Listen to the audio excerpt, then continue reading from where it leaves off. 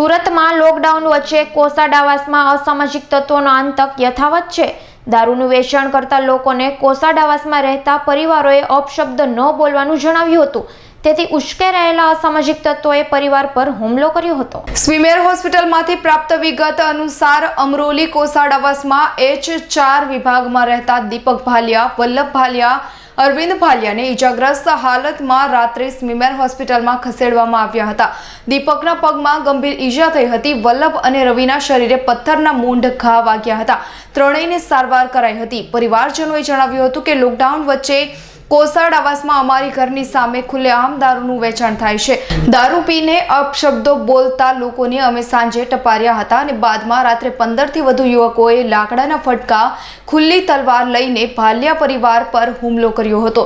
તેથી મહિલાઓ અને બાળકો સહિતનો પરિવાર ઘરમાં ઘૂસી ગયો હતો. અસામાજિક તત્વોએ ગાળાગાળી કરી પથ્થરમારો શરૂ કર્યો હતો.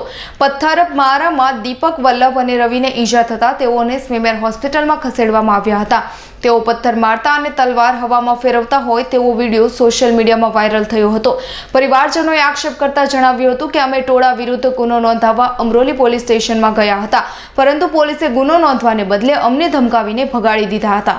હાલ તો અમરોલી કોસાડાવાસમાં બુટલેગરોના આતંકનો ભોગ બનેલા પરિવારને ન્યાય મળશે કે કેમ તે જોવું રહ્યું. Bureau report Surat.